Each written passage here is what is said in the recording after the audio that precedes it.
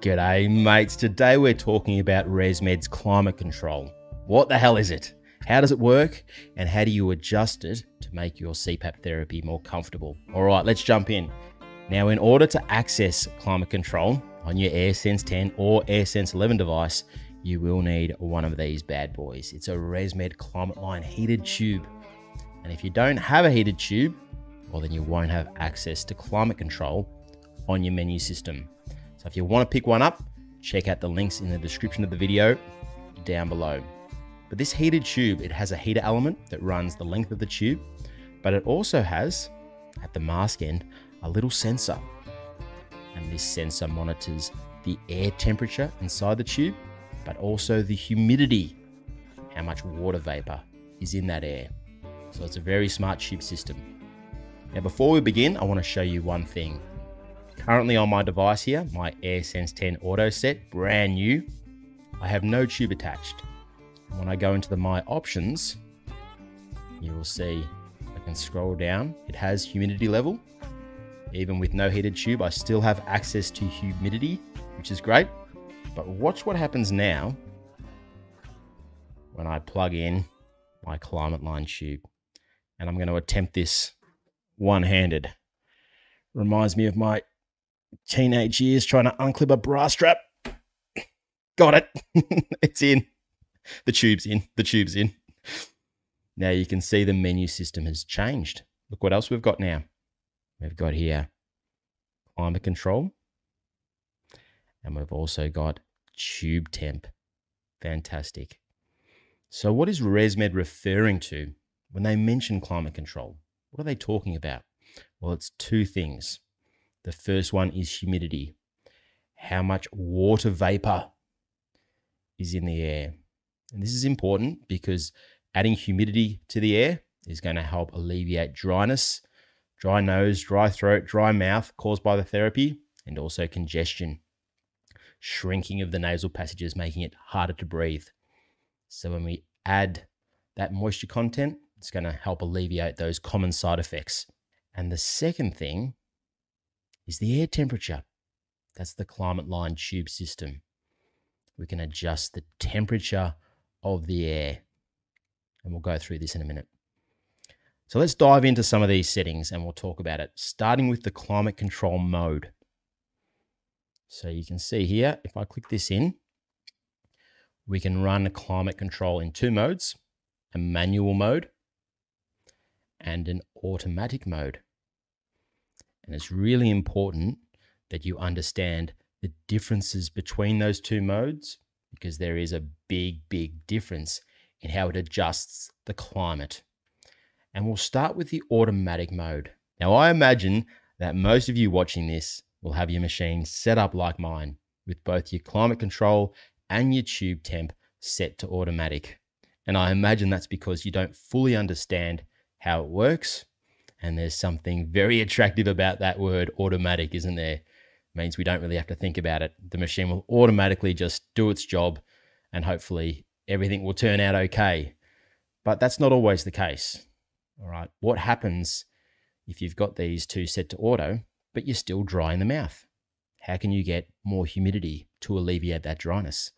Or what if it's the middle of summer and you're finding the, the air temperature too hot on auto? How can you change it and then what effect does that have on the humidity level? These are things to consider, and that's why I want to really educate you on this climate control so you know what it's doing and then also how to adjust it to suit your needs as the seasons change, whatever works for you guys. All right.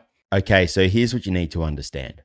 When you set your climate control to automatic, the heated humidifier is going to automatically adjust the level of humidity, that is, the amount of water vapor in the air higher or lower depending on the air temperature inside the tube. That's the important part. It's dependent on the air temperature. The warmer the air temperature inside the tube, the more humidity will automatically be added to that air temperature. The lower the air temperature, the less humidity will automatically be added. That's what it's doing. ResMed is aiming for an 85% relative humidity to whatever the air temperature is at that point in time.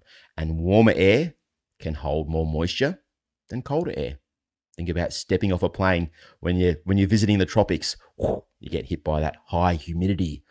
And why is it so high? It's because the air temperature is hot. It can hold that water vapor. How it all works, ResMed's just copied meteorologists. all right, so that's how it works. Now I know what you're thinking, but the tube temp is also automatic. Does that mean the tube temperature is going to fluctuate automatically through the night to suit the humidity level? No. When we set our tube temp to automatic, what the device is doing is it's going to try and stop the air temperature inside the tube from falling below a set level. And that set level, when on automatic, is 27 degrees Celsius or 80 degrees Fahrenheit. Now, if the temperature's above that, just in your room temp, then it's not going to magically come down. It's not a reverse cycle air conditioner, although that would be amazing. There's a tip of ResMed, reverse cycle air conditioner in your CPAP machine. That'd be pretty sweet. No, it'll it'll stay where it is. However, if the temperature in the night drops below that level, let's just say five o'clock in the morning, cools down, goes to 22 degrees, then the heater coil that runs through that heater element that runs through the tube will heat up the air back up to try and keep it above or around that 27 degrees Celsius, 80 degrees Fahrenheit. Keep it nice and stable. So the, the word automatic there is a little bit misleading. So here's how we can adjust it. Now, if you wake up in the morning and you are still dry in the throat, well, how are you going to get more humidity if the climate control's on auto? Well, we need to increase the temperature of the air. That's how we can do it. So we scroll down to our tube temp now it's on auto, but we know auto is 27 degrees Celsius, 80 degrees Fahrenheit. So if I rotate down, you can see here, oh, there you go. So I can bring it up to 28, 29, 30. I can bring it up further, and that will add automatically more moisture to the air. Now, the ResMed devices are even smarter than that. They're, they're really monitoring more than just the air temp inside the tube. They're monitoring the atmospheric humidity, they're monitoring leak rates, mouth leak, a whole bunch of stuff. But the main the main thing there is the tube temp. So increase that tube temp if you want more humidity. If you're finding the air temp too hot and you're like, no, I want to bring down this humidification, I mean the tube temp, that's fine if you want to bring down the tube temperature. But you need to remember that if you are lowering that tube temperature, you are automatically lowering the humidification at the same time. Okay? That's how it all works. So just keep that in mind. Some of you go, oh, geez, this air's a bit warm. I'm going to turn that tube temp down, but keep my climate control on automatic. Yeah, you can do that, no problem. But you are automatically, as a result, bringing down the level of humidification. I know it's a little bit confusing, but just remember the warmer the air, the more moisture will automatically be added to that air. The lower the air temp, automatically less moisture. Got it? It's tricky. It's very tricky. I don't blame you if you don't understand it. It took me a while to get my head around it as well. Um, and I think most sleep techs probably still don't understand it, which is why 99% of them just tell their patients, yeah, just just sit on automatic and she'll be right, mate. okay, so so that's the automatic. Now we're going to talk about manual, and there's a big difference with manual. So let's change it to manual. All right. Now, when I turned it to manual, you can see now I have here the humidity level. That wasn't there before, was it? We just had climate control auto because it was automatically adjusting humidity level. Now, I have an option to change the humidity level myself, and I can run it between zero, which is completely off, or right up to eight, which is maximum humidity. Now, in manual, the tube air temp and the humidity level are no longer in sync. They are completely independent of each other. Remember before we changed the air temp, the humidity follows? Now, this isn't the case. We have complete control over both of them. As I'm going up from zero, one, two, each level of humidity corresponds with a set determined level of moisture added to the air, independent of the air temperature. Okay? Independence. That's what it's about when it's manual. So I might set the humidity level at four. And then I can also set the tube temp to whatever I like as well.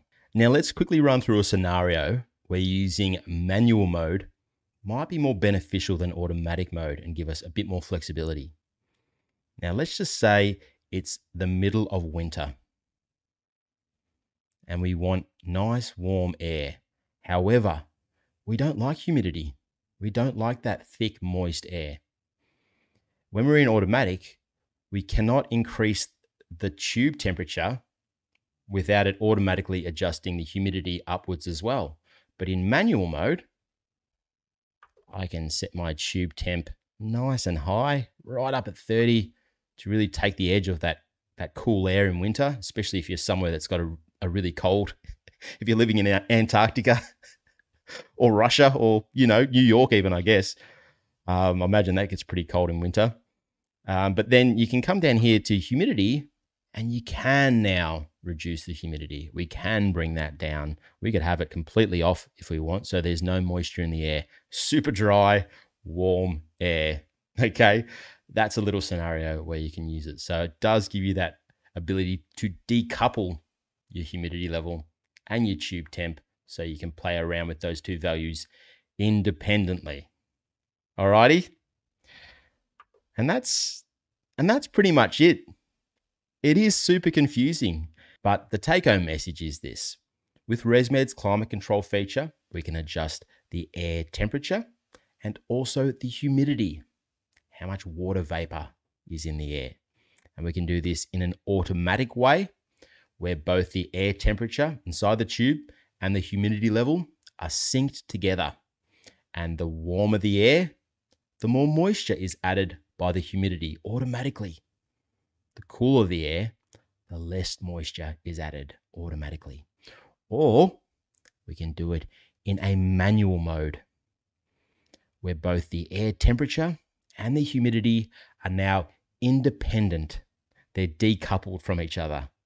And we can change the air temperature independently of the humidity. We can have our air temp nice and high and our humidity really low which we couldn't do in the automatic mode. And we can change these settings to now suit our needs. And what are, what are these needs? What, why do we want to change them? Well, the most common one is dryness. That's what it's designed for. If you are dry, what do you need? More humidity. If you're congested, if you get a stuffy nose and you're finding it hard to breathe through your nose, what do you need? Heat and humidity. We want moisture added. Humidity is a blessing, but it can also be a curse, especially if we're getting a lot of condensation. If we're just finding that we're getting a lot of moisture on our face, water in the tube, rain out, that sort of thing. Well, what do we want then? We want less moisture. Or we need more heat in the tube. I have done a few videos on it guys. I'll put some links in the description if you want to check out some more videos, more in depth videos. But this one was really just to educate you on climate control so you understand it. And then once you understand something, it's much easier to put it into practice. Um, and now that's on your shoulders. I'll leave it at that, guys. Um, thanks for watching. If you enjoyed the video, I really appreciate it if you hit that thumbs up button, subscribe to the channel. I am now offering memberships to the channel as well. Yes, it's a small cost per month. However, you will get a few more perks and I will really appreciate it too because it takes a lot of my time up making these videos, replying to comments and the rest. I love it, but it does take up a lot of time. And we've also got a great Facebook group, 6,500 friendly, helpful members. So if you are on Facebook, I know not everyone's on Facebook, head on over there, check out the links in the description, say hi to everyone. Lots of great information on the Facebook group. And until next time, guys, sleep well, look out for your mates, and I'll see you soon. Have a good one. This video is made possible by my amazing channel members. You're all bloody legends. My best mates Lloyd, Jay Dizzle, Avril, Ed, Karen, Willie Boy, Phil, Edith Hagar, Laszlo, Victor, Omar, Dion, Mitchie, Denise, Rachel, Peter, Maddie, Kathy Bacon, admin on the Facebook group. Brady, Bo, Ruth Behrens, Ron, Simo, Diana Catrip Bates, and North Boy. Love you guys. And me great mates. Can't forget me great mates. Poe Territory, David Miller, Ashley, Sanook Weather, Russ Wetherill, Craig Kiad, Humble, Robert, Simeon, WS, Chucky, Jerry, and me good old mates. God bless them. Todd, Rexy Dog, Jeff, John, Lewis, Taryn, Elaine, Alan, Ray, CJ, Serge, Darby O'Toole, Mary Orr, Barbara Tanner, could be Mitchie's mum, Warren Hines, Ryan, Sharon, Trish, Justine, Greg, Zippy7, Stevo, Hamish, Andrew, Brian, Sean, Anthony, Eric M, Ben Cahill, Katrina Thomas, PC Italian, Papa Smurf's Tinker Shop J. Now there's a tongue twister. Keith Thompson, Derek, Ricardo, Malcolm, Teresa, Mike, Brenda, Andrew, and Dustin, Kasun, Johan, Stan, Evan, Garfish63, Matthew, Dullish Page, Robert Callett, David Williams, Joe Cannon, Festa Works, Jared McKeon, Tree Sprite, Daniel Calming, Donald Dodson, Daniel, Richard, Mike O, Jane, Chris, Leslie, Script C, Emma Goldberg, Melody, Caruthers, Louisa, Walter, Jeff, Carl, Poe again, Post back again,